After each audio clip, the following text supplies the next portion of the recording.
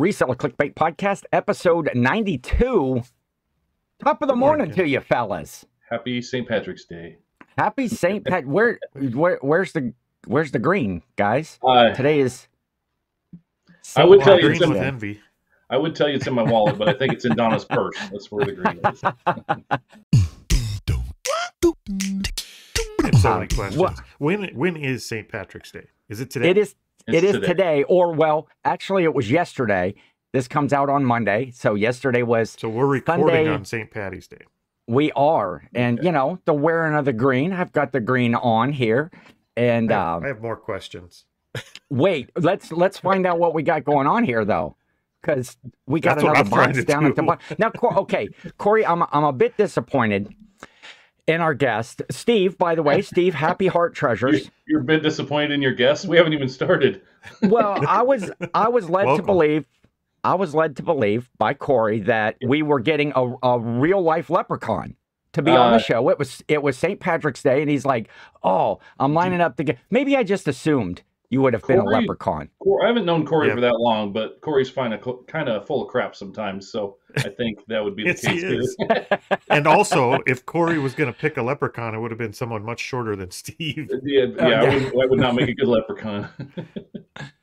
So yeah, uh, again, we got Steve Happy Heart Treasures. As always, Corey from Grams and P- wait, see, I Oh, did it again. nice. Corey from Grams and Pops Vintage. I'm Ken SSK promo, Mr. Bill, and a whole string of other stuff. The DOG suffering from delusions of grandeur. But um, Steve, welcome, welcome, my friend. Thank you. We Thank got you. uh now this is the first time that I met you here just like a few moments ago yeah, when you yeah. came on, but Corey Corey has met you at the Plains to Profit meetup. Yes. Yep. Yes. And uh and so you have kind of a interesting business model or the way that you go about sourcing and the way that you go about um getting rid of inventory. And we're gonna we're gonna talk all about that. But first I'm gonna I'm gonna make you big on the screen and give you a, a chance here to kind of introduce yourself to folks that might not be familiar with you or your channel. And uh, then we'll kind of get into that. So take it away. All right. Uh, my name is Steve. I'm Happy Heart Treasures. I'm half of Happy Heart Treasures. I'm the brawn half. My wife Donna is the brains half, and we've had a channel for YouTube for almost three years now. Uh, it was just a fun channel we started just to uh, for, so our moms, when we went full time and quit our jobs, our moms were worried about us, and so we made the channel so they could watch and see what we're doing.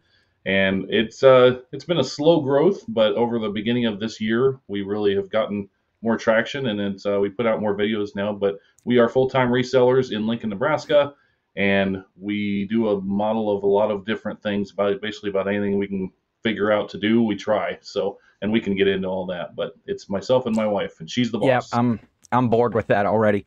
Um, no, no, yeah, I have uh, recently. Corey had had found your channel, and you kind of do a a similar sort of a format that uh, Corey and Teresa do over in Grams and Pops, your husband and wife team that kind of are on this reselling journey. I like that that you said you did it so that your your your moms were worried about you and that they could keep up with uh, what was going on. That's an interesting take on why one would would start a a YouTube channel anyway. we anyway. were watching YouTube channels, and, and one of our moms was like, "Okay, cool, go for it." The other one was very, "No, you can't quit your job." And and I personally, I was the one that uh, Donna quit first, and I was like, "No, I can't quit my job." And I quit my job, and three years later, somehow we still are living in the same house. We haven't been kicked out, so we're doing all right. Perfect. That's the goal. Yeah, yeah, Yeah, just not get kicked out. Just Yeah. that's a, yeah. I get I get kicked out of a sale over the weekend. Did or you wait, no, just this week. Yeah, I got kicked out. Well, it wasn't um by like the owners or whatever. It was a big big like uh uh rummage sale or or like a big garage sale or whatever. It was in a greenhouse. I'll do this story real quick. It was um da, da, da, big storms came through. All of a sudden, we were in there. It was a special like sneak preview night for this big large sale. Um, shout out to my friend. Where do I got it? Shout out. I'm going to throw up a picture here. Shout out to my friend Aaron Rebel Junk. I don't know if you're familiar with Aaron Rebel Junk. She's in the middle, and then of course Jill is there with me on the end. Um, Aaron helps out volunteers for this big sale every year, and they have like a, a early bird night where it's a ticketed event. You can buy a ticket, go and see it. But while we were in, it's in a big greenhouse, huge, massive sale, just really well organized. And uh, but storms blew up, and all of a sudden, the tornado sirens were going off. The uh, everybody's phone in the whole place just like went off all at one time, and uh, they came over the speakers and said, uh, "Everybody, we are evacuating the building. Everybody, just drop." All your bags, because everybody, you know, they were all pretty much resellers. Everybody had their big blue IKEA bags, and it's just drop those bags. Let's we're we're leaving. We're going to like the building next door. You know, more of a solid structure for everybody. So, uh, pretty pretty kooky uh, event. And then you know they kind of waited. We were over there probably 20 25 minutes or so, and then they they let us all come back because the storm. There was actually a tornado that had touched down right in that county, and it was kind of heading that direction.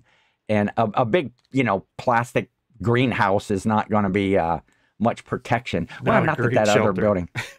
yeah, exactly. Oh, when the, and it started to hail during the thing, and man, that was like it was intense. It was an intense uh, event, but picked up a lot of really cool stuff. But Where are you uh, located? I'm not familiar with where you're at.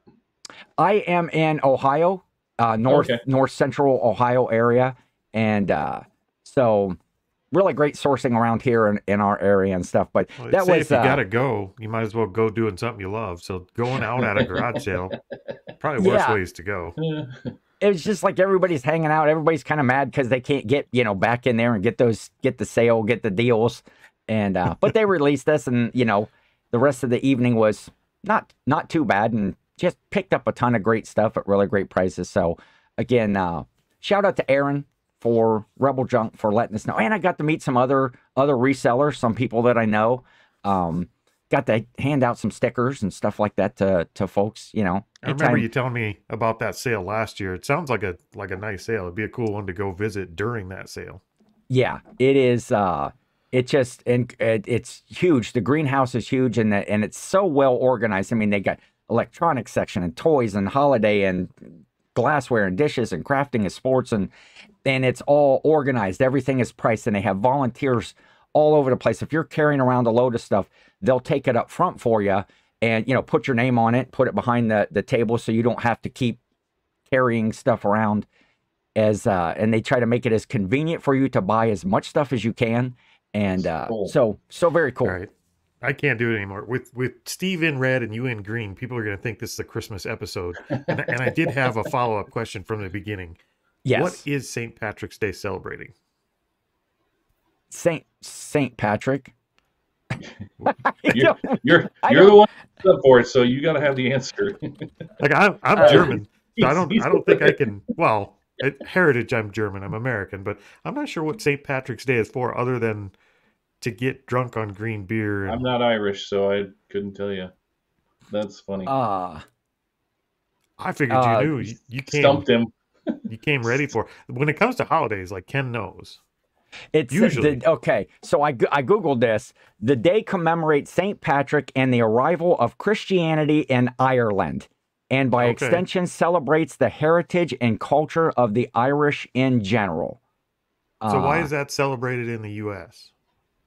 Well, because we have a lot of Irish uh, Irish folks. A lot of the Irish came over and immigrated way back in the day. I don't really know. We Actually, start it's just, over if you want. it's a it's an it's another just an opportunity, you know, to wear a to wear a fun hat and you know, look at look at this shiny bow tie that I have. What you know? Why not? Oh, and here's my shirt that says I'm magically delicious All right. right there. So I made that shirt myself because it was appropriate. I'm making a note that next year we don't celebrate St. Patty's. Okay. Wait. what? Hey, just because you didn't wear green, you look like you you're green. That's It's kind of kinda a green, green. shirt. You look Yeah, like you're ready to Like hide out hunter in a jungle, though, Carrie. you It's kind of or uh, Corey. Carrie. Carrie. Carrie. See, I don't know. I messed up earlier. I messed up earlier because I was making a banner. Uh, here, I'll throw this up right now. You know, please, way down So there at the Steve and bottom, Donna. please check out Steve and Donna. And I was like, oh, I, I want to make sure. How do you how do you spell your wife's name? Is Bonnie B O N N I E? Is that how you spell? Yeah. It's like, well, I, I, So, not Bonnie, start some- Donna. Yeah, yeah. if I would have put uh check out Steve and Bonnie at Happy Heart. And might have started a little, you know, You would have you would have caught me off guard. That's for sure. Little marital discord there uh, within the family. and she like Donna would be like, uh, "Who's this Bonnie that we're we're speaking of?" That's a great But, uh, question. Well, if, So- if if Donna's anything like Teresa, she's not going to watch this anyway. oh, Donna will watch this. Donna loves watching all the things. Teresa Teresa doesn't watch. She just asked me how it went, and i and today I get to tell her we celebrated a holiday that I don't know what it is. Yeah, there you go. But I do now so I guess I can't say that. Now I know One I- of the I'm things still really about confused doing about the why reseller celebrate rally, doing the reseller rally, and then coming home after meeting everybody, it's made it very diff- like our routine. There was just a few resellers Oh, that we yeah. watch on YouTube, and now we try to watch all the people from the reseller rally that we actually met. Yeah. And so we uh, we don't really watch the big ones much anymore because we're trying to keep up with the people that yeah. we actually met, which is a lot more fun. You know, Well, I found see, like wait a minute. more You the were other day. you were in that are- Cincinnati. no, no, no, no, right here, we're over here, The planes, Plains of to Profit. Profit.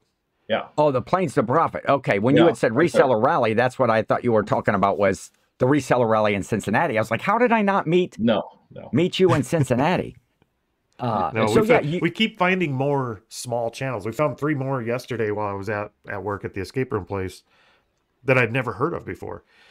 And and you you rarely see them come across your feed. So I was surprised to find a couple more channels of of couples that have small, like just over a thousand sub channels. yeah. Those are usually the ones we watch. We don't watch a lot of the bigger channels anymore. It's mostly Yeah. small channels like that. But yeah, there's a lot to watch. There is there is a lot to watch. Yeah. Yeah, So there's that's why that's- we're, we're thankful that anybody watches our channel. It's it's pretty amazing that somebody would sit down and intentionally watch us. But that's well, you're on our watch list. Well, that's we for sure. appreciate it. You guys Yeah, are easy to watch. I have been, uh, like say, I caught up. I was watching uh, when Corey, because Corey's been talking about you guys for a while, and uh, he had, you know, first found your channel, started watching, and uh, said you need to go check these guys out. And uh, this was back, and I so it's like, oh, and I subscribed to your channel. The first first video that that I turned on, you were um, you were out snow blowing the the driveway that day. It had snowed a With whole my bunch. little and like, snowblower, yeah. and that's pretty much was the whole like the whole video it was like you know, I was like what's this you know for reselling content and then i think the next video after that was something kind of out of your normal uh realm of what you do We don't And, have a um, normal. We we do not have a normal. I can tell you that much. That is the So I- normal. no normal. and there is you know so much content out there and Oh, my oh, my my stuff's falling over back here that's that's the ghost of St. Patrick. Heard Corey talking crap about St. Patrick's Yeah. Day. Now he's messing with There you your go. your clover. Bad news though. He came after the leprechaun, not Corey. There's so uh then Corey then Corey was I know he was e- excited to get to meet you in person. You guys had Yeah. you know had interaction and had talked to stuff before the Plains to Profit meetup. And then, you know, he's like, Oh, Steve and Donna are gonna be there. And uh so you guys got to meet up and uh he's just you know, he tells me all the time, you know, check out these videos. You should see what they're doing. And that well, that was one of the cool things about the Plains to Profit uh, event was being able to meet up with other people that do things differently. That it's Yeah. not the same. You know, we talked about not watching a lot of the the bigger channels that are out there because number one, we've seen what they do, and and and as far as reselling, you're not gaining a lot of new information. Right, I guess it's mostly for the entertainment and and liking the personalities of folks. And uh, but if you want to learn something new, you got to branch out and find somebody new. And so I caught it's up on a bunch of yours. somebody new. It's it, and that's I, we were on for two and a half years, and December thirty first we had six hundred and fifty subscribers. That was after two and a half years, and then Yeah. I put out a video. I was frustrated because we Donna decided that you know she said we need to try to do a video a day. It was something that Bearded Thrift Machine said to gain some traction, and so one of the first videos I put out, I named it "A Big Problem for Small YouTubers" because I like searched for small, trying to find small YouTubers, and I couldn't It's hard find to find them. They're hard to Yeah. find, and so that one got traction, and we went from 650 subscribers, and then on the 14th of January, we hit a thousand subscribers. So in two weeks, Nice. we gained 350 subscribers after two and a half years. Um, so it, it kind of went, and that's when Corey happened to find us, and Alicia Inked Picker. She she Yes. actually lives in our neighborhood. We've been doing this for full time for three years. I mean, we've been doing it for a lot longer, and we didn't know any of these people existed. We almost missed this Plains to Profit because Yep. we just didn't know. We didn't know there was a reseller in our neighborhood, and so it's been really fun to find other people in the Midwest and you know smaller channels doing stuff like we do that we can talk to because here in Lincoln we don't know anybody that does anything like what we do. So We Yeah. it's a lot of fun. we found your channel completely by accident, and literally like within a week, Alicia Inked Picker had actually bought something from your dollar auction, Yeah. picked something up from your house, and found out you guys were YouTubers. So me and Alicia found your channel at about the same time, which is crazy because she It's had just moved there. and the fact Yeah. that you two were you know helping put on Plains to Profit and then you know we we didn't miss it it would you told us about it it was like a month and a half away like Yeah, we could have have a lot of time. completely missed it so that was awesome No, it worked out good, and and that's that's kind of how we found most of the smaller YouTubers is just completely by accident because there's Yeah. YouTube isn't pushing them out there like those Right. small channels and stuff, which we would, which are the ones we really enjoy watching. right Partially because Yeah, they're a lot to- less tight-lipped than a lot of the bigger channels are. It seems like the bigger channels, whatever whatever caught their niche that blew their channel up, they kind of stay in that lane. right right And Yeah. then the smaller channels are more open and they're just the topics are much wider variety, and it seems like they're much more willing to share. yeah So it's yeah. those are the ones we really enjoy watching because because we do learn stuff. Right Yeah, definitely. And there are a lot of a lot of channels on out there. It's sometimes it's hard, you know, you go watch a channel and to like learn I gravitate back to a lot of those same channels because it's hard to learn somebody's personality, what they're doing the first the first few times, you know, that you you know, like you know, like I had to suffer through all of your videos here, Steve, just to um, you know, put them on two times speed and hope that they were over. No, uh, very very good content. I'm I'm just busting your Well, busting I tell your you what, there on that. I go back. I've every now and then. I'm sure you've done it. You go back and watch something from a couple years ago, and I'm just glad we had 650 subscribers because before I learned how to, like, you're good at filling the dead space. Before I learned how to try to fill dead space and to edit and cut out those slow parts, yeah, like it's hard to watch because you, there's a lot of dead space and a lot of um trying to figure out what to say. But you know, Yeah. obviously Ours we've are still hard to watch. I, Yeah. I think your own videos. I think your own videos are always the hardest to watch, or at least that's what I tell myself. Because when we It, watch it our is videos, because you're you're so focused on Yeah. what you're seeing wrong, you know, instead of just Yeah. enjoying it and, and just paying attention and just taking it for what it is. You're watching to see what what you might have slipped up on or what you could do I think different. the the worst thing we hate about our own videos is we think we talk too slow. Like uh, I usually take time to think about Oh, what I I'm saying can- as I'm saying it, it- and I, I can confirm too that. Slow. I, I can confirm that. That's yeah. why it's on two times. That's that's why they have a Just get you up to selector. get you up to normal speed, Corey. And I function a little right. bit behind. a regular, you know, human cadence, you know, in your in your voice. But you know, nobody enjoys watching me more than me. So I always enjoy seeing all of my stuff. But I, I know, like when you said, you know, as far as the editing and stuff, and you watch those, and it's like, oh man, I wish I would have said that. I wish that it's almost every time you, you film some sort of a video, you you think, oh, we I should I should just start over. I should do that again because now I know what I want to say right, right. and you know this would have been funny or this would have been more interesting something that you could have said about an item and uh so I my my going back is always I'm pretty quick witted. I'm I'm a you know when I first met my wife I give her a lot of crap and I still do and some people are like man you give her a lot of crap. Well that's how she knows that I still like her right. But so my watching videos back I'll be like I'll think of something I'm like oh I wish I would have said that joke there like because I have my kids you know yeah I think I entertain them but they roll their eyes a lot at me with all my you know just little dad dad jokes and Yep. crap. So that's usually what I'm watching back. I'm like oh I should have said this there that would have been funny but just Yes. to catch Donna off guard.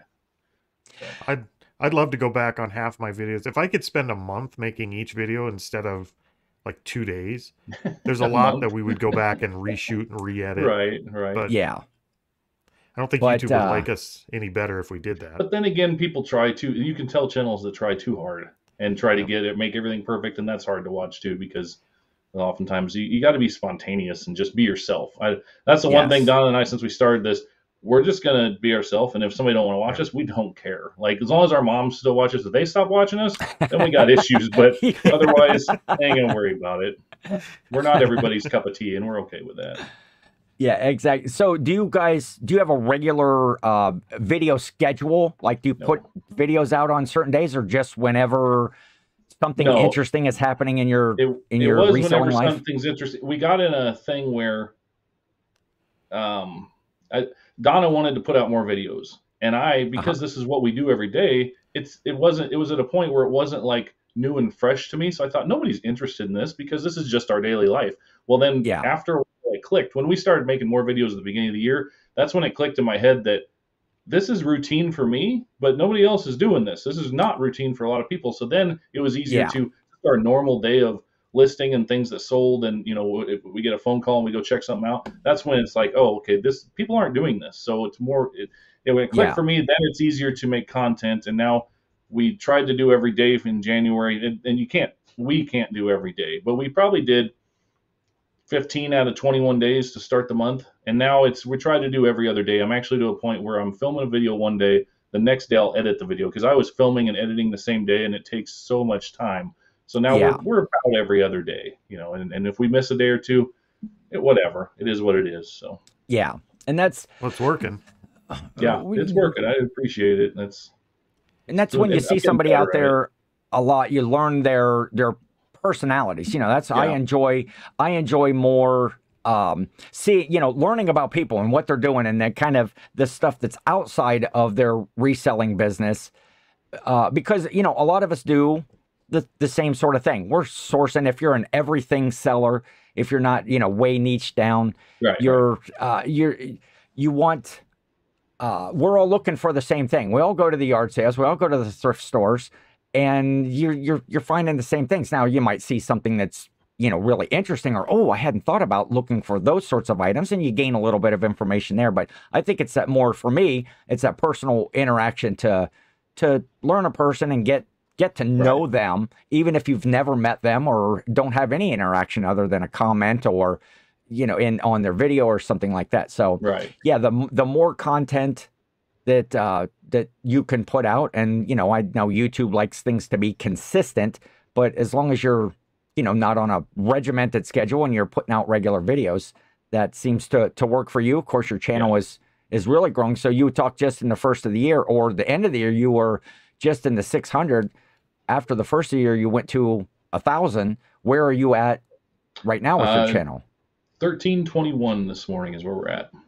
So, so, we've so doubled another- since January 1st. We've doubled our channel size. Went from 650 to 1321 this morning. Is what we lost four subscribers two days ago. I don't know what happened. There was a big, big rioting in the streets, and they all left. So that was. And I mean, we don't pay that much attention. We you lose a subscriber, and I think it's we made some shorts for a while, and then we get a bunch. You get a bunch of subscribers off shorts, and then we quit Yeah. doing those because they mess up the graphs and everything. And I think that's probably people that saw the short, and then they're like, well, all they're doing is these long videos. So but I don't know. We don't pay that much attention. But four in one day was like, wow, this is kind of weird. But, yeah but it's all, it's all so good. are you trying to uh, use YouTube as a now that you are hit that thousand and and I assume that you had your watch hours and you are monetized. yep, yep. Is that one of your goals to use YouTube as a source of income as one of your supplements, or are you doing it just kind of for the enjoyment and get We- stuff out there? When we talked about it, when it started growing after that first, we said we're afraid. I'm afraid, and she's. I don't know if she is, but I'm afraid of. I don't want to change to chase the dollar. I don't want to try to change what we do and who we are, trying to get more subscribers because I think it would actually hurt us. We, what you see on our videos is exactly who we are in real life in our day to day life. It's just we turn a camera on, and so would it be great if it was a source income that would actually change how we do things? Yes. Do I plan? I never planned on getting monetized. I always made the joke, but I was serious too that we're never Yeah. going to get monetized. And so if it grows to where, you know, it's not, we're getting our first check or whatever in the next week or two, and that's exciting for us. But at Yes. the same time, it's not changing our life at all. But it's cool Yeah. to do. So We if We if definitely- big enough, it'd be great. But I'm I'm not. We're not planning on stopping anything we do because of it. That's for sure. Yeah. we 100% went into the YouTube thing thinking it was going to be half of our income. Like we had we had big dreams about eBay doing half and and YouTube doing half, and that's how we were going to make our living. And how'd that work we out? quickly adjusted. But honestly, if if YouTube never gave us anything else other than what it's given us so far, I think it's already given us more more potential income and more actual income from from off YouTube sources because of YouTube. Like we wouldn't have done Place Profit without YouTube. We wouldn't have Yeah. met Stephen Donna. We wouldn't have met 50 other resellers that we've met in person and online had we not been on YouTube. And you And also we got to remember more with, from with those us, people. with us, we a lot of people they start a YouTube channel and then they, they're tr- the goal is you know in three months they want to be monetized, in six months we want to be, want to be monetized. We were on it for two and a half years before we got monetized, so it's not like oh we finally hit that goal. It's like we it was already part of our routine for a long time that Yep. if we if we weren't monetized today, we'd still be making the videos. So Yeah. Yeah, you know, we it- did for a long time without being monetized too. And and honestly, being monetized, I mean, once you hit that thousand, that's exciting. it's exciting. Nothing really changes after you hit a thousand, other Right. than you don't have to chase that number anymore. It's done now. Yeah. Now it's all about views, and we got our those 1,000 don't and then- change as fast. the next video we did, we thought we hit a thousand, we're monetized. This is going to be big. Next video we made was a fun parody thing of that we're so famous and everything, and that's how we kind of celebrated our thousand. We had a little celebration video, You had a Yeah. and we thought we thought and we, I don't remember what I had a catchy title and everything. I thought, and I thought, well, this is going to be a big one, and it was a complete dud of a video. And I'm like, okay, we just do ourselves this this you know trying to outthink it doesn't work for us. Yeah, I think the video after our thousand mark, when Man. we hit a thousand, made four cents, and they're not doing much more than that these days. So, Right, right. Man, I I feel left out. I'm not in the the 1,000 monetized club like you guys are. I Uh, think the video just, you uh, said you were going to make the other day would probably help get you there. Oh, you just yeah. have to make the video. I I know that's the I have so many I should I should be at least the DOG in me thinks I should be the biggest YouTuber out there uh, if I would just make this content that runs through my my crazy head all day. Well, you are And, you uh, are technically probably one of the biggest YouTubers out there who doesn't make content. Who, yeah, probably maybe so. Oh, you said doing you were really hoping that- well for somebody that doesn't make content. you were you were hoping that you know YouTube would be half of your income and reselling would be half of your income, and that's pretty much the, the position that I'm in right now. Is that you know I'm not monetized on my channel or whatever because because you know effort or whatever, so I'm making no money there, and you know and I'm a horrible reseller, so I'm really not making any money there either. So you know mission accomplished, goals you know hashtag life goals, and uh, Well, speaking of So, but YouTube, I thought you were And fact monetized. that I just I didn't know. the fact that YouTube is kind of the perk we found of YouTube anyway is what we've learned from other resellers and the, the things we've picked up from other resellers, not from their channels, but from actually making the connections because of YouTube. And Yeah. one of those channels was actually Steve and Donna, and we've learned a lot from them and the other people at the at the Plains to Profit event this year. But their their model, well, it's, it's they didn't invent the model, but the way they're doing what we do Yeah. was so starkly different than the way we do it, that Teresa eh and I do it. It was very interesting to us. So we kind of latched on and started looking into that, which is kind of one of the reasons we really started watching their channel more and more. yeah, And it's the reason I've, I've been talking to you about having Steve on is because I, I think the more people hear about it, it, it is a very Yeah. interesting way to, to move a lot of inventory. And it's something we Yes. had never even thought of when it comes to this because it's just not something you hear about. Hi, Bonnie. exactly. So yeah, Bonnie's Steve. here. Sorry, she can't hear you, but yeah, Kim thought your name was Oh. Bonnie. So Have her Uh, have hey Bo- hi, hi Bonnie. Donna. nice to Here, meet you. here. Hello Donna. Here, put this I in was- here for a second. I was throwing my band. Good to good to see you, Donna. Nice to meet you. Hi, Bob. I'm Ken, SSK Promo, and Hi, you know you know Corey. good to see you. So you are the other half, the better half of Much Happy Heart now. Treasures. Uh, yeah, when you when you watch the videos, you just just really enjoy you guys' interaction with one another and what you're doing, and you know how you get along and the different uh, the different processes and and specialties, if you will, that you have um, that complement each other in we uh, tried to in the book Donna business. and- first, but she said Steve would have Yeah. to take her place, and she had real work to do. Yeah. we didn't want we didn't want Steve. It was we need the we need a pretty face on here. We don't need you know they see Corey and I's mugs every week. Well, you know, and uh, we thought we need to get you know a fresh new uh, fresh new look, and then we ended up with another you know balding middle aged guy, and so uh, That's how me. about them apples? So Kind of um, resells that, or sums up the reseller crowd right there, doesn't it? Yeah. exactly. All right. See you, Donna. Nice to meet All you. And so, yeah, we one of the reasons you know uh, Corey has been talking about you is you do kind of have an interesting way or something that's a little bit different than what other people are doing of how you source your inventory, and Yeah. then we'll talk about that, and then. You're you're sourcing and you're getting lots of stuff, lots of things that may not necessarily going to be listed on on eBay or any. Now, are you just primarily eBay? Is that your platform? Do you sell on any other? Oh, when when You- okay, so three years ago when we went full time, um, we had been I have been on e- eBay since 2001. I started when you mailed checks to people. You know, I was one of those, and I just you know would find out random things. I did sports cards for a while 20 years ago, and then I did geocaching path tags for a long time with my friends. We'd resell those, but when we got a few years back, probably five years ago, we got there was a Lincoln Dollar auction, and it's a Facebook group, and everything is a 24 hour auction and then Okay. they come and you sell it and then at the end it's just like ebay on a 24 hour scale and then they come Okay. pick up from you so we were doing this just for some a side hustle you know whatever Yeah.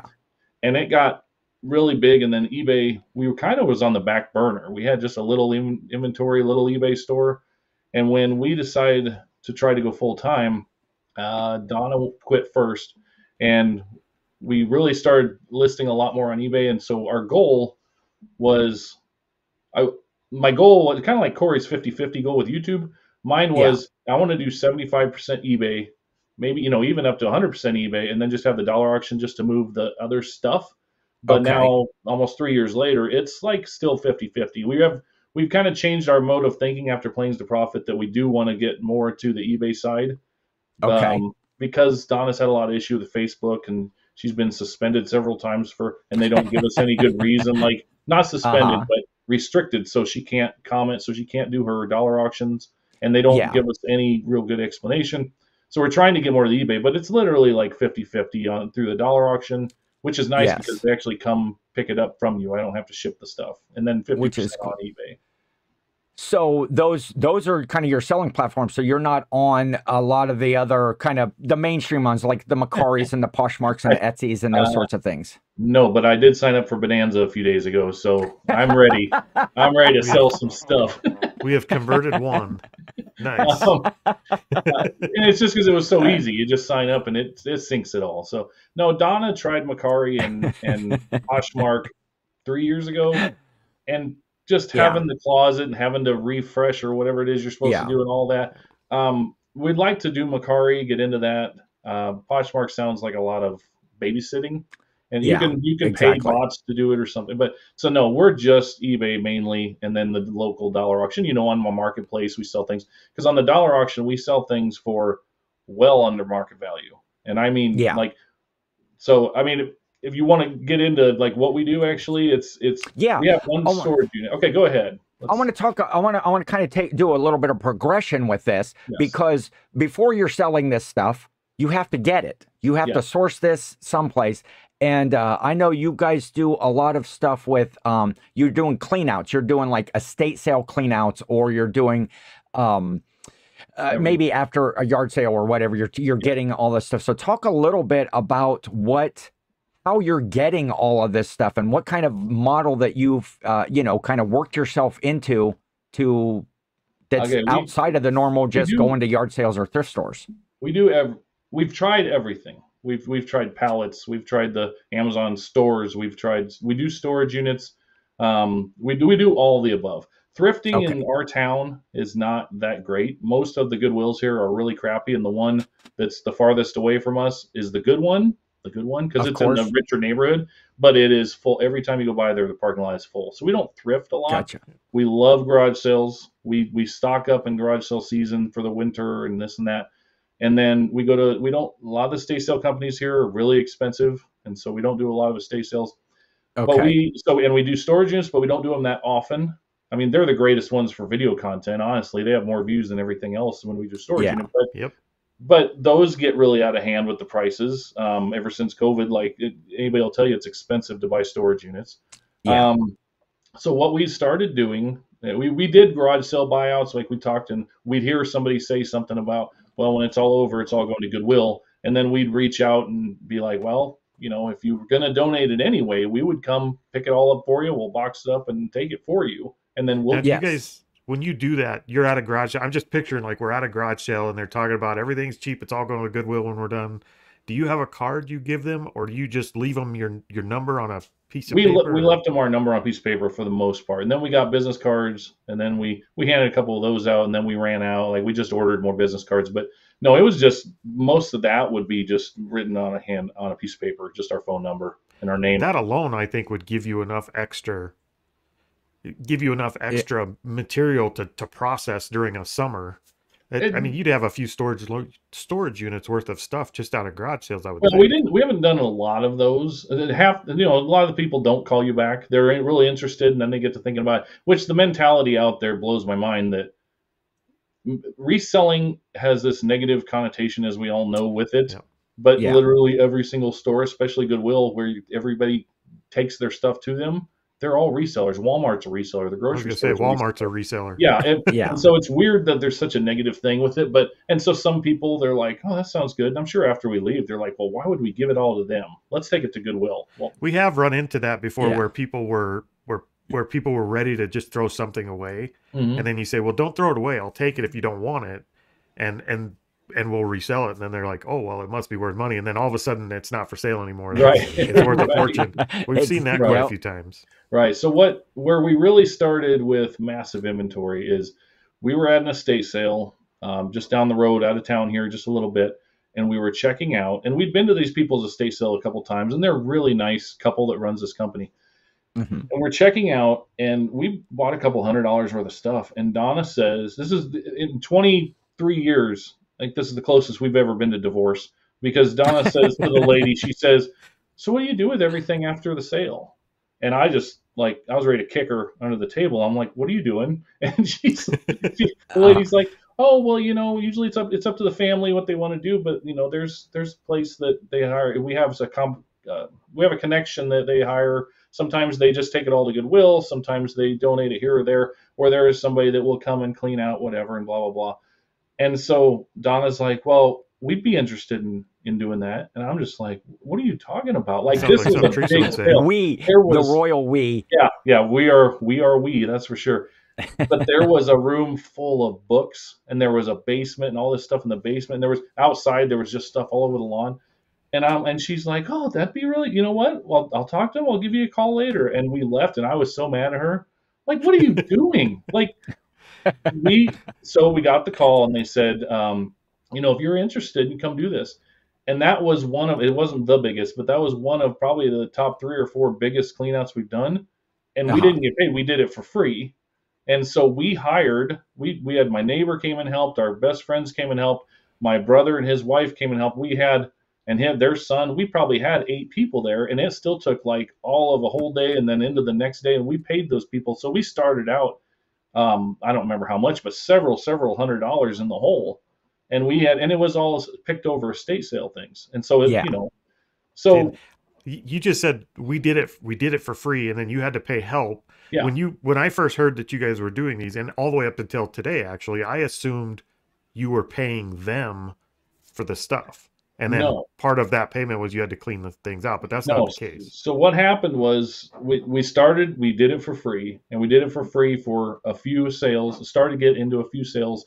And then we had a bigger sale and the, the people, the people at the estate sale company basically told us, they said, you're not, you need to charge something for this because what we found out was the other person that does what we do was charging i'm not going to say any numbers or anything but a lot of Yeah. money to do this and they, he said he, and he just donates everything he does he's not a reseller they say i don't know never met him but he's not a reseller he just donates everything his service is just to do the clean out but he charges Yeah. quite a bit of money well we figure well since we're resellers we can make some money on the back end but since it's already been through an estate sale and all the resellers and everybody have picked through it, we know there's not Yeah. as much value left. So we started charging a little bit, and then a couple times they, they, you know, we found out that we're still not charging enough because we want to minimum charge cover our expenses is where we were started. So we started in the door, started for free, charged a little Mhm. more, a little more, and now we're to a place where we're comfortable that the job we're what the amount we're charging, we're comfortable that we're well under what our competition would charge Yeah. but you know but now we're we charge enough that it makes up for us not listing and selling for those couple days or whatever and so Yeah. it's like it's it's well worth it because I don't I don't want to keep doing it if it's not worth it to take those couple Oh, days sure. and, and and stop doing everything else, and I want to be able to make money, take the day off after you know not take the day off, but just be like not feel the pressure of holy cow, Sure. we got to get this done, and I do. and pay help and pay our I do help. have questions about the process going there, but I could tell you a, a quick story about our first opportunity to do a clean out type of thing. We actually got approached by a realtor that we know, the realtor that was involved in buying our building in town. And when they have a house that they have to try and sell, sometimes they need to clean them out. right. Yeah. So she asked us to clean that out, and we put our name out there to the realtors that we would do that. Mhm. The very first time that she called us was because somebody had left and left everything in the house. They had they had butchered a deer in the living room, Oh, and it was all still there on the living room floor in the carpet. And they needed somebody to come clean the house out. And we didn't Life do in it. the We- Midwest. We just said, nope, that's it. We're not doing That's that. funny. We moved our friends to Kansas and we stayed in a hotel. And in the hotel room in middle of Kansas, in a small town, there's a sign that says um, something. I don't remember what Donna read it. Something about uh, please do not clean your animals in the hotel rooms. They will. I was like, why, Yes. why would you even? But that's that's nasty. That's, But- You know, it, it Go ahead, towards the towards the actual clean out part that you guys are doing um with do you guys just line up a u-haul and a dumpster when you go to these places i mean what is your process do you know that obviously you see them beforehand right Yeah, we go to the estate sale first, like to shop. We we go to check it out to see what it's like, and then we don't give them a price until we wait until like the last day, until a couple hours before it's over. So we so it's fair, so we know okay, a lot of this furniture, What's left. whatever, yeah. and so then we'll give them a quote and we'll say we're uh, we're willing to do this for this much, and if you know sometimes it doesn't work out, they they don't, and sometimes they do. So it's not just a flat rate. It's a kind of based on what you're seeing as there and, and the time and the effort that you would have and, and people will call us like so our name has got we haven't done, had to do any advertising because uh, we must be doing an okay job because word of mouth is is has been enough advertising but people will call us and every and they want to know well what do you charge or what would this or you want to do do a buyout and it's all each case is individual and we can't give them any just like if you call to say how much would new cabinets be they're going to tell you we have to come out and look and measure and Right. everything it was the Yeah. same thing we had a so couple how many a couple how many spectrum pianos have you had to move um, a couple. No big ones, but a couple.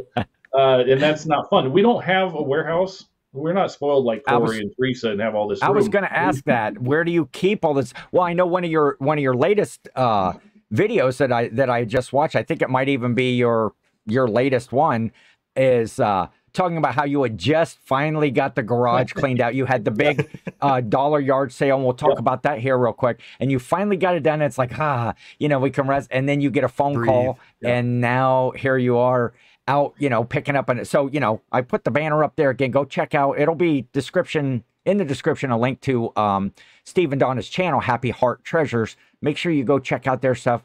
Uh, you know, hit some thumbs up, subscribe to them, and. Uh, but what the one thing I think that was interesting in your setup of your story there is that those estate sale companies, or at least the one that you first started to deal with, said you should be charging. You should be charging us. You know, they could have essentially you were doing this for free when you first started, and then they Yeah. said, uh, you know, that I think that's just pretty cool that It's, they would. It's crazy. Donna contacted. We went to another estate sale company, and Donna talked to them in the same way. Which we're keeping busy enough with the few contacts we have. I don't. Yeah. I don't want to do this every weekend because it is hard, hard work.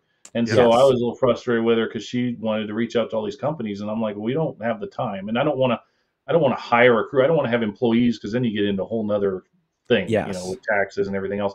But been there the funny the funny thing is um, we've had it we've had it go a couple different ways where Don oh yeah okay so I was gonna say Donna was we were in a state sale and she started talking to the people and the people about laughed her out of the room and she's like wait you want to charge to take to clean this to take this stuff and she's like yeah and they're like no we take bids and people buy it and um Yeah. and to us to us I kind of understand it because when we first started that would have made sense but after Yes. doing this for a couple years now, the stuff is picked over. I mean, it's a lot of work to get because you have Yeah. to take everything. That means all of the all of the open used things in the bathroom and all of the all the dirty clothes that you know all the stuff under the beds, all the crap. You have to take everything and Yeah. all. You know, I I will say the resellers like myself would want to believe that all the good stuff's gone because everybody, you know, you think you're that good, but we always find hidden treasures. But we take Sure. a lot of stuff that you know we donate and then we take to the dumps what needs to go to the dumps and stuff like that. Last night after this one, we had two U-Haul trailers in our driveway.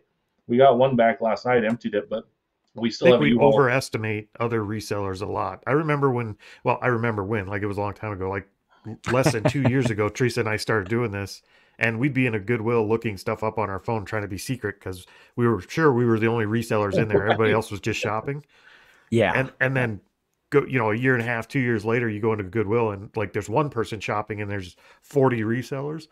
But we Yes. always found stuff Every- when we were sure we were the only reseller in there, and we weren't. yeah, We always found stuff. Plains And of Profit it's is a good more example. now that we don't. I I, think did we not get in our wanna own go- heads. I did not want to go to Plains of Profit and do the reselling bus, the party bus, because Uh-huh. I I still thought I know it's different now in my thinking, but Plains of Profit opened my eyes because I thought there's 40 some resellers on this bus. What are we gonna do? We ain't buying nothing. And you know what? Everybody's looking for different stuff. Yes, we're all looking Yeah. for the Hokas and we're all looking for the Miss Me jeans. You know, if we see them, we're gonna buy them. But everybody has different specialties and different knowledge Keep the about Hokas. things. Yeah. So let me let me. uh, I want to go down this path real quick since you said everybody's looking for stuff. Uh, when you are just when you're not doing a clean out, because in in these clean outs you're just you're taking everything. Yes. When you are out at the the sales uh, or the thrift stores or whatever, uh, do you have uh, what's your what's your go to item? What what is the thing that you like to sell? Uh, I know obviously you're an everything seller and you're not niche down, but what's what's the one thing that catches your eye? Or if you you show up at a sale or a thrift store, what department do you go to first? Uh, I go to the shoes and then I go to hard goods. Donna, I can't even tell you where she goes because we just split up and go. Um, she sees, she looks at completely different things than I do. Um, Yes. I don't, I honestly, I don't have a niche. I, I quit two years ago. I would have told you I love looking for video games, but so many Yeah. people look for video games that they're hard to find anymore. So I, Yeah. that's kind of like the, the Having two people that go opposite directions at a sale is like a superpower, isn't it? Yeah. Oh, absolutely. love it. is. But when we come back if we come back with a full van, only twenty five percent of it's mine. Donna Yep. buys because Donna. Okay, so we didn't really get into like how we get rid of all this stuff yet, but Donna does because I make videos and because I do all the shipping. I do all like the eBay stuff after it's after it's listed. She helps with the Uh-huh. listing. So my time is taken up that. So she sells a lot more on the local dollar auction than I do. So she Yeah. has to have a lot of product for that. So so at garage sales, she buys a lot more than I do. Um, I'm looking. I have the eBay mentality, um, looking larger. Yeah. She's looking for the things that she can get for fifty cents and flip for five dollars on the dollar auction. So Okay. Going We Going back- mentality. to that to the sourcing part when you're actually at the sale. Yeah. And, and it kind of kind of applies to this too with you guys going through and finding the stuff that you want. Do you do you do kind of a triage right there at the sale as you're loading stuff up and sort things? We're keeping this. This is dollar auction. This is eBay. This is You mean at the garbage. cleanout? Yeah. At the clean out. Yeah. It, it again it varies sale to sale. With if we we've had sales where we have a couple days where we have the keys and we could sort there and that is so helpful.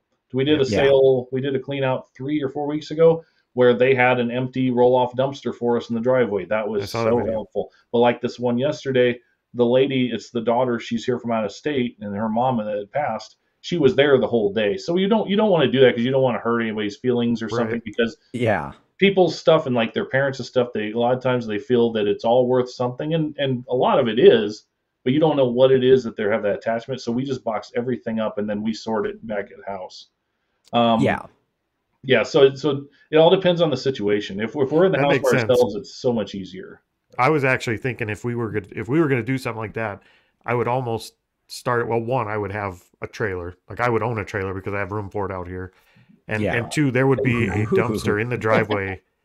Again. we there would be a dumpster in the driveway before I got okay there. this last Cory's sale they- palatial estate out there with all of his outbuildings. but this is but this is the the part of it that that's what I thought too. We when we did the one that had the roll off dumpster, I thought, well, this is the way to go. We're going to do this from now on. So this one we you did made a good this point though about the family. But this one we did this weekend, that was they had a roll off dumpster during they had they've had two estate sales there because they had so much stuff. And they had a Uh-huh. roll off dumpster there the whole time. So we were like, well, we're gonna get a roll off dumpster because you know that's what they had anyway. But then Yeah. when we looked at it, we decided. I did the math, you know, in my head, which just doesn't take very long because there ain't much to do. But what we could take out and sort and take to the dumps in the van and a small U-Haul trailer, because that's the only one we can take to our transfer station dump, it would cost us 10 times. We could get it done. It'd take us a little more time, but we can get it done for 10 times less the money than a roll-off Yeah. dumpster would cost. So the cost Really? effective convenience, yes, but the cost effectiveness, it would cost us like 200 more dollars to do it that way. So Yeah. that so that didn't Yeah. make sense. You know, but so let's go down the road here a little bit of uh you know we want people to go watch your channel and watch your videos and see what you're doing and how you're doing Right. that um and so you know that's an interesting way that you're sourcing that that the state sale companies are paying are paying you you've worked out deals not to the estate sale companies, it's the the owners Oh. of the house. the owners of the after a house state, after a state sale company is over, after it's, the sale is over, the companies a lot of times, unless it, you know, some they have different policies. Some of the companies probably, I know there's a couple companies here in town that it's in their contract they keep everything that's left and then they yeah actually resell it. But a, a lot of the companies, when it's over, they pack up their tables and they walk away, and then the owners have to Yep. figure out what to do with have to house. deal with it okay So gotcha that- that- gotcha so we're, connected with this day sale company, but it's completely separate, like business for the owners to look at. Okay, what are we going to Okay. do? And I guess that makes a little more sense because, you know, I wasn't paying attention the whole time. Anything that you were saying, I was just kind of, you know, daydreaming here. So, but that does, It is St. that does Patrick's make a little I more sense. Oh, yeah. You know, I've got other things on my mind the whole uh, Well, then deep bring in the what am I going to do Yeah. later in the day to celebrate.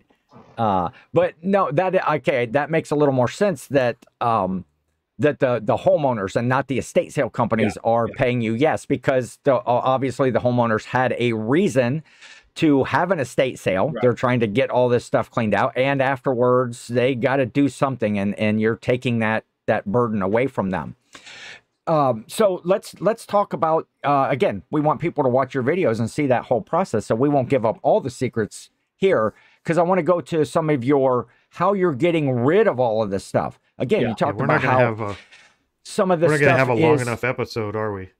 no yeah we're gonna we're can- gonna We're run out of time here. I can nutshell it. Um, so here's the thing. Here's so when we did that very first one, and it was massive, and there was all this furniture. We we have one storage unit that we just keep all the time. It's kind of our death pile. We cycle through that and try to get through it, whatever. And then we have our garage. Our garage is and our basement is all eBay. And if you ever watch our channel, you see like how we store all our eBay and everything else. So that first sale, we brought everything home and we had all this furniture and we put it in our driveway and we're like, what are we going to do with this stuff? So that was the first uh, Steve and Donna one dollar garage sale. It was a unplanned, un anything. It was a Sunday morning. We sent a message that night. Donna's like, let's have a garage sale tomorrow, and I'm like. What, how do we even do that? We don't have any plans. And she's like, the stuff's already in the driveway. Let's just open the boxes and whatever. So we did that. We're Yeah. like, we're like a dollar garage sale. We put it out on the Facebook marketplace. We messaged, you know, all sent messages to all our people from that had bought on our dollar auction, and we just got up early in the morning, drug everything out on a Sunday morning, and we started at whatever eight or nine in the morning, and we thought, well, hopefully the furniture will for sure sell for a dollar, you know, and we just we let it all go for a dollar. All the furniture pieces, we let it go for a dollar, and we got rid of tons of stuff. But that's the Oh, thing. When we get furniture, we don't have the storage space to. We did Yeah. a clean out a few weeks ago, and there was this vintage table and chair set, and one of the persons there said, "There's a set just like this at a store in Omaha for three hundred dollars. So you should do really well on this." yeah I don't have the place to put it, and I don't have the desire to open a storefront at all. So we literally put it on the dollar auction. We got six dollars for it. But you know what? We didn't care because the bulk of our money is in the smaller items. The, when we get the big stuff, yeah we want to just move it. Now, some people might think, well, that's stupid. But on the other hand, we have a lot of returning customers because they get really good deals from us. So Yeah. they may only pay six dollars for this table and chairs, but then they buy a whole bunch of other stuff from us, and they become, you know, we Yeah. and we love Yes. helping out. A lot of our clients locally are, um, they're not, you know, not well-to-do people like in rich houses or anything like that, but they Like found Cory. that they can get a lot. Yeah, like Cory with all that property and stuff. Take But they easy found- over there, Leprechaun. they found they can get really good deals with us, and we love that. You know, we we're not the eBay stuff. Yeah, we're hoping to get the the maybe not the top dollar. I would try to come Yeah. in just at the bottom of the market, but but uh, you know the, the the local stuff. Our our uh, business model is the fast nickel over the slow dime. We we just Yes. flip it. We need to turn it because we have so much coming in. We've got to get rid of it. So Yes. what we tell people when we started doing this, we were selling for people. Like people would bring us stuff to sell for them, and Yeah. we would split 50-50 was our rate. Now eBay was more like they'd only get like 25% because it would be 50-50 after fees. And we were upfront Yes. about it. It's not going to be very much. And so what we actually did the whole time we'd sell for people, we went in, we wouldn't yeah, well, sure, we'd love to get your really cool expensive stuff and sell it, but we Yeah. don't want you to be mad when you don't get as much for it. So we actually would let, try to encourage people you know, we would love it, but you should sell it yourself. You can get more money, sell it yourself. That way, yes. so the people that we did sell for mostly were people that didn't care how much they got. They didn't. They were like, Okay. we just need just it wanna go go away, and that works best. We had a couple people that did care how much they got, and that didn't work out. So that's kind of why we stopped selling for people because Yeah. you know, other than family and really close friends, we don't do that anymore because there's a lot of trust there. And we got kind of questioned a couple times, and it was like, okay, we don't need to do this because it gets it gets muddy, as I know a lot of resellers know. You know, when you sell for other people, it can get muddy real fast. I do love the the kind of the genius that comes from necessity sometimes when I'm looking at the way you guys do things as far as moving stuff. When you have that much stuff coming in, you have to move it on the backside. It has to go away. It has to go Yeah. somewhere. Yeah. And I've seen you guys do some unique stuff to get rid of it from, like you said, the dollar garage sales you guys have, the way you structured that, where you were like a, a dollar for most of the day, then you dropped to 50 cents an item, then it was free for the last couple That's hours. that's what we do Like- now. Yeah. When I saw you guys do that, I thought that was fantastic and Yeah. a great way to clear out. You guys have done um, the, the dollar auction on Facebook. Which we're trying to establish one here, but we have a very small population. It's it's Right, going to be a long long hill to climb. If you But can then you get it have with even- some traction, it's it'll be well worth it. I know Yep. it's a struggle, but And I've seen you Yeah. guys even do stuff like like find a seller of a specific type of thing, like like glass, like Alicia, this, and say you can have everything in here that's glass. You just have to take it all. You can't nitpick it. That's this was brand That's new a to us. We great did just idea. yesterday. I was I was going to tell you about this. Um, so we had this clean out, and everybody always wants to know where we get all this stuff and everything like that. So uh, Alicia, the inked picker, she lives in our neighborhood, like I said. And then there's another guy in town that he's he was a reseller for a little while, and he's just been getting back into it after watching our videos. So he said, so we Donna had this brilliant idea. She's like, let's do this clean out. Let's box up all this stuff and let's offer it to them if they want to come get it. So Yeah. that's what we reached out to these two people and we told Alicia, we said, you, yeah, just like you said, you can have all of the glass and, and dishes and all the breakables, Mhm. but we're going to box up. You have to take it all. You, Yep. and we don't know. It's after a state sale. So, you know, we don't, and that's every time we do this, we don't know if we're getting good stuff or not. We've done cleanouts where we didn't get much out of it, but yeah. so we offered it to both these people. As long as you take everything from these rooms or whatever, you can have it and you can go through it. And I hope you make a lot of money and I hope you find some really cool stuff, but there's no guarantee. And so Yes. they both did that yesterday. They both showed up. Both one guy he came with two vehicles and loaded both vehicles. Did we miss out on some sales? Maybe, but remember we're getting paid to do the job, so Yes. we kind of were able to share the wealth. You know, we maybe missed Very out some cool. stuff we could make money for, but now they had all this inventory that they can go through. And they both messaged us last night and they were like, thanks so much for doing that, whatever. And we're just like, well, thanks for helping us. Like that helped us." I us. was Yeah. gonna say you've, Get rid of a you've lot now of made a you've now made a contact for the next sale that you don't have to hire somebody to come help you clean it out. You can literally Right. box up all of one Yeah. type of item and say, Yeah. "Come get it." Yeah. and I think and- I think Alicia said they had actually already found a couple things that made that worth it to them. Yeah, yeah, that's In, what, that's in what the it glass, like. which was really cool. hmm Yeah. So, and I would I would imagine too with you know I've watched some of your videos and the effort that that you have to put into that that there's you know that this is just so interesting. I'm sure there's a lot of people that might watch this and go, "Hey, I'm gonna I'm gonna start doing that when I'm at a sale or an estate sale. I'm gonna say, hey, I'll come and get all this stuff and you can pay me and stuff." And then they probably do it like once or twice, exactly and then right. they find out the That's work. effort and and I'm sure I'm sure there's a fair amount of stuff that you get that that is not going to be suitable for your dollar auction uh, that you do through the Facebook or your dollar garage sale or to list. That's just stuff that somehow you got to get rid of. You talked earlier about you can only take a certain size vehicle to your transfer station, which is kind of like a, a dump to just get rid Right, of right. stuff or things that are not donatable. And so you might have competition in that area by putting information out there that that's just what we do and until somebody probably actually does it one time Every you know, if it was easy, everybody'd do it. That's that's Yes. the thing. I exactly when we first did it, I came home and I said, "Well, I'm never doing that again." And now we do it regularly, and every time I'm going into it, I'm like, "What are we doing?" But then by the I've time said we're that. done, it's I've said that same thing about our first, our second, and our third storage locker.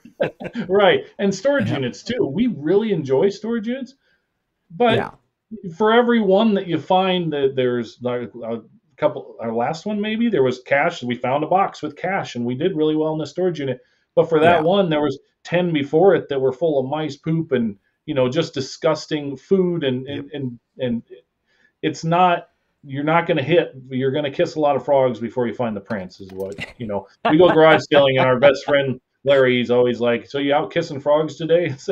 Yeah, we're kissing Yep. a lot of frogs, but that's you know. that's actually a very very good way to uh to look at it you know Yeah. and frogs are green as well i imagine they celebrate st patrick's day every day probably so. Yeah um steve man this is this is great interesting stuff. I i definitely encourage everyone i'll throw this ticker up here again. I definitely uh, encourage everyone to go check out steve and donna's channel happy heart treasures. Uh just to kind of see a lot of their day-to-day uh, what what they're doing in their reselling business, and they go over those cleanouts. They go over that. In the recently, you just recently had that dollar garage sale. Uh, how how often? How many times a year are you doing the the dollar garage when sale? we started out, um, when we had that first dollar garage sale, we had like three of them in the first few months, and then we Uh-huh. got told from another reseller that we're friends with here in town, they were having garage sales like that, and somebody turned them in because in city city guy ordinance or whatever, you can only have this amount, like two three dollars, two three day sales or three one day sales or something like that. There's some kind of law about it. So we've decided we're just going to do one in the spring, one in the fall. So that's all. Okay. This is where really being rich and living on an estate like me comes Yeah. in handy. Yes. Yeah, Because I'm out You of city. do- I'm out of the city limits. yeah, yeah. Yeah. well, there we all get fooled by that. Uh, that those folks that have the perpetual garage sale. It's just like always, always open, and it's the same stuff, and it's I, and you know, you, you're looking up the phone- sales or you chase a in sign. phone On, on my map, I, I type in all the addresses on my Google Maps, and then Uh huh. at the beginning of the day, and so I have ones that have a red icon, and those are the ones that when I type it in, don't go to that one because we have a been there blacklist too yeah, that Yeah. we just stopped Not- going to. See, I'm not that organized. I always end up back at these same sales. There's this ah, there's just one that's not too far away every single time. I get I get punked by them because they advertise it differently. They'll advertise it as an estate sale. They'll advertise it as a big massive moving sale. They advertise it different ways and you would think that I would recognize the address or the street, but but I don't. And I show up and it's like, ah, these people again. And oh, but I go up and I end up buying I say something you could them. just drive on by. I, I that. should, I should, but uh, but anyway, Steve, I think you know we're going to uh, get wrapped up here for this episode, but very interesting uh, Yeah. Process of the way that you're sourcing. Yeah, I could I could talk about this because it's exciting to to hear something different that that I'm not doing, uh, a different way to source, a different way to um, to sell. Again, you know, you're doing eBay, but it sounds like a lot of your business, a lot of your things are done through this dollar auction thing, through that's Facebook. That's and it's you're able to get rid of this massive amount of inventory that you bring in all the time. You know, you pull out the, the good stuff. like, and that's what people don't understand the scale. When we're home Yeah. and listing, when we're not traveling and not doing a clean out or whatever, on just the dollar auction, not counting eBay, I think we go through it's like 350 to 450 items a week. So I mean, it's it's a massive scale. It's 50 to 75 items a day that's on there that we just continually move. So that's why we can do these big cleanups and have all this inventory because we have a place where we can just move truckloads of stuff. Yes, There's only, and and there's you only would a have certain to. amount of people willing to do that kind of work. Oh, Yes. yeah, it's a lot with. of work. It is. Yep. It's a lot of work. Nobody. and you would have to have those in place you know i, I again i talked there how some people are probably going to say oh this is a great thing i'm going to go out when i'm at the yard sales and i'm at the estate sales and i'm going to start you know giving them my business card hey i'll do this this clean out uh, and then you, but not everything that's left over is stellar and Uh, Oh, I'm you- not doing there's that. there's And if money. I see Teresa talking to the estate sale lady like Donna did, I'm gonna put You're a actually sock in gonna kick that. her. Yeah, you're actually gonna kick her under the table. What are you doing? Just stop it. Well, So- if you do, Cory, call me. We'll come up. We'll help you clean it out. Okay, there I'll you go. There you go. You got some help. So how how far away are you guys from one another? Like, what's a, a trip It's between? probably like four hours. Yeah, it's, I think it's about about three and a half, about four hours. Okay. Um. So, Cory, did you have anything else for for Steve? That I I know Yeah. you had like a million questions that you Like wanted to dozen ask. Is there anything that uh that you wanted to to cover that we can do here yet Not today? that we or? can do in the time we got. So we might have to have Steve back on at some point. But but yeah, For lots sure. of questions left. I think this gave us a lot of food for thought. Like it there's a lot of miniature conversations that could spring off of this Oh. in different directions. So One And I got, I got I a have more questions than I'd like to answers. tell, but you know, obviously, time is these things run long sometimes. so. Yes. Yep. It was uh and Steve, nice meeting you. You know, even though even though you know, initially I was disappointed that you weren't a true leprechaun, like I was led to believe. Cory. Leprechaun. And uh but uh see, I'm gonna make you big on the screen here and give you a kind of last word. And and I said, you know, Cory, would you wouldn't you say this is a probably the least the least amount that I've talked in an episode for like a long I, uh, time? I ramble. I don't I- I don't know. I kind No, of it block was- out at this point.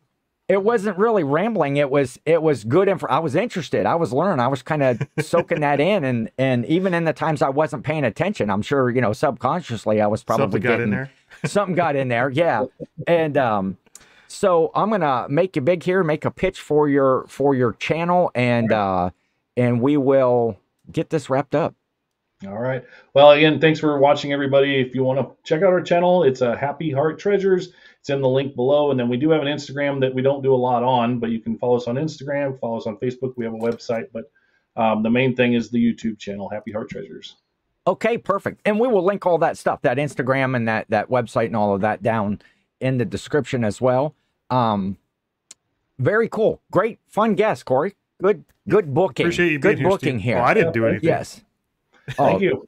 I appreciate it. That's like I And, said, it's uh, our first time on any on any anything, and so uh, that's Well, you're gonna have to come back at time. some point now, because Well, I do fun. I I literally have more questions than when I started the podcast. like I've I've wrote down several things now, so we're gonna have All to have well, you back. We'll do it again sometime. I'm you just Well, let me know. for for your first, you know, thing off you you did well. I, I Yeah. appreciate it. It was uh it was a This good got me ready. conversation. This got me ready. Tuesday night, we have our first live. We've never been live or anything. We are live this Tuesday night. So if anybody wants to check that out, it, it- we're just going to do like a question and answer, just like this, and we're going to let people type Yeah. in questions, and we're going to do a Q and A. It might be a Oh, total flop. perfect.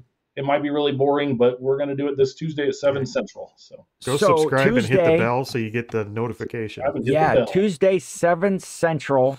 Hit Yeah. that. I'll be uh see, I don't think I have anything going on Tuesday night, so I'll definitely be in the chat there, you know, Yep. causing a ruckus maybe. Hopefully I'll just ask questions that don't pertain to anything that you do. I'll And get a uh, few of those. maybe I'll ask you, you know, the history of St. Patrick's Day. We don't know. there, there you So- go. Yeah, I, I got to go edit this podcast and cut out all this leprechaun talk. So we'll be, we'll be cutting her Cory, short. we here. didn't even get to you. We didn't even get to your Transformer scammer buy. Yeah. So go Yeah. check out go check out Grams and Pops Vintage their channel. video. Yesterday's video, which is today's video, which is tomorrow's video. Tomorrow it'll Yeah. be yesterday's. Well, there's And like that three always videos. is There's a, confusing. there's a playlist, so you'll find it. Yes, go check It's that not out, good and um, hopefully it'll turn out to be good news. It's great content. Might not Fingers be good crossed. news, but it is Yeah, how do- great how do you content. like that? so The, the bad news is always good content. I don't the like best, it the best that way? videos are the drama, and I appreciate coming on here because I, I do I have I've watched other podcasts and I've seen other podcasts where people will like talk bad about like other resellers, and I don't want no part of that. Yeah. And so that was just talk bad about asked each Cory. other. When Cory asked me to come on, I said, "Are we gonna like talk about other resellers in a bad light? Because I don't want any I don't want any Yeah. part of that drama." So so I appreciate you guys for bringing me on and just sticking to our fun. So. yes, he did call it you was names. for sure. He did call Well, you so you can call names. I'm used to it. It's okay. I got three kids. I'm used to it we should. There we go. We'll make a thumbnail for this, and we'll just have the thumbnail just say like you know worst guest ever, and then worst you know everybody will tune in for because everybody guest seems to love. Bonnie. Yeah. yeah. Worst host ever. yeah. so, uh, Steve, nice to meet you, my friend. Cory, nice have a great day. And uh, we will catch you next week on the Reseller Clickbait Podcast.